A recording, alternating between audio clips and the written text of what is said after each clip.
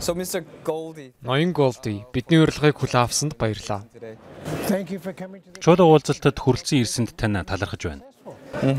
So uh, with the global race for critical Тэгэхээр чухал ашигт малтмал анхаарлын төвд орж байгаа энэ үед ямар шин трендүүдийг Пидак анзаарч байна вэ?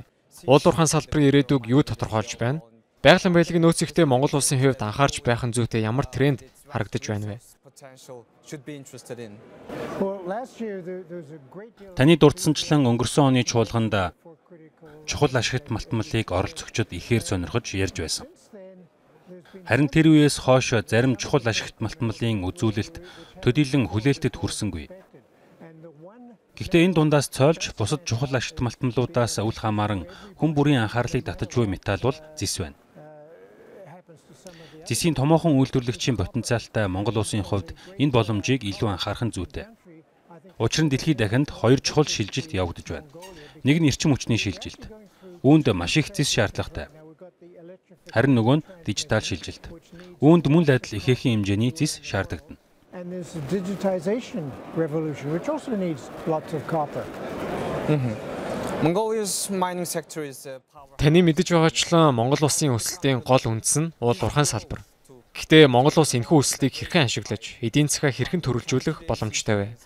Уул уурхайн салбарын давуу талаа ашиглаж, уул уурхайн бус салбараа дэмжиж, эдийн засгийн илүү өргөн хүрээг хамарсан өсөлтийг бий болгосон сайн жишээг дурдахгүй юу? Broader economic development. One of the things the Canadian government is doing is it's also Канадын засгийн газрын хувьд чухал ашигт малтмал олборлолтын төсөл хөгжүүлэгчдэд урамшуулал, зээл эсвэл санхүүжилт олгох арга хэмжээ хэрэгжүүлж байгаа. Энэ бол нэг хэрэгцээтэй зүйл. for example, you you mentioned uh, before that uh, Жишээ нь та сая Монголд газрын ховор элементийн хайгуул хийгдэж байгаа талаар дурдсан. and uh, the very few Дэлхийн маш цөөхөн компаниуд л газрын ховор элементийн хүдэр олборлож түүнээсээ ховор элемент гарган авах аргыг мэддэг. Тэгэхээр Канадын засгийн газрын хувьд хайгуулыг дэмжиж хүдрээс чухал ашигт малтмал ялангуяа газрын ховор элемент гарган авахд хөрөнгө оруулж байна. uh, Монгол улсын хувьд ч адил зүйл хийх боломжтой. Орд илрүүлсэн тохиолдолд аль болох дотооддоо боловсруулахад анхаарах нь чухал. Uh, I think the big leader in that uh, area has been Indonesia. Энэ талбарт тэргүүлж байгаа орн бол Индонез улс юм. Тус улсын ерхийлэгч асан ямар ч боловсруулаагүй хүдэр экспортлохгүй байх талаар зарлиг гаргасан. Дотооддоо боловсруулах арга зам хөгжүүлэхийг уриалж байсан. Энэ чиглэлд Монгол улс анхаарах нь чухлаа гэж бодож байна. Ноён Голди эдийн засгийн төрөлжилтөөс гадна Монгол улс уул уурхайн салбараа хөшүүрэг болгон хэрхэн илүү тогтвортой ирээдүйд хувь нэмрээ оруулах боломжтой вэ? Байгаль орчны хариуцлагатай байдал, эдийн засгийн өсөлтөд зэрэгцсэн нийгмийн өсөлтийг бий болгож чадсан сайн жишээ хэлэхгүй юу? in resource-rich countries. Uh,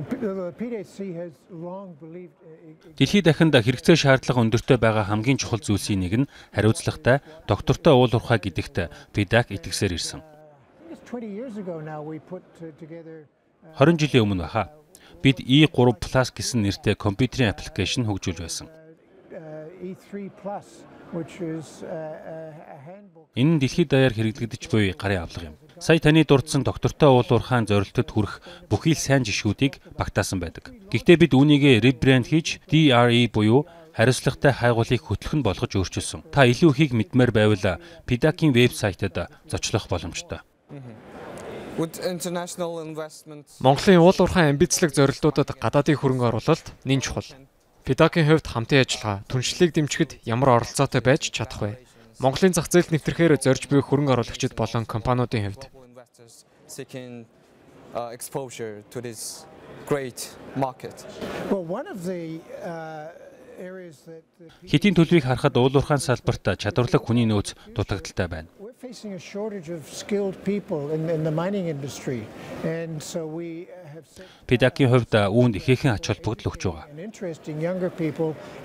students. Бид залуу үеийнхний ялангуяа сурагчдын боловсролыг дэмжиж, уул уурхайн салбарын сонирхлыг нэмэгдүүлэх хөтөлбөрүүд эхлүүлсэн.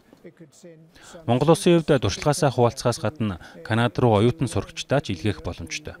Доктортой үр ашигтай уул уурхайн үйл ажиллагаа явуулахад шаардлагатай сайн жишгээс суралцах боломжтой санал бодлоо хуваалцсанд баярлалаа.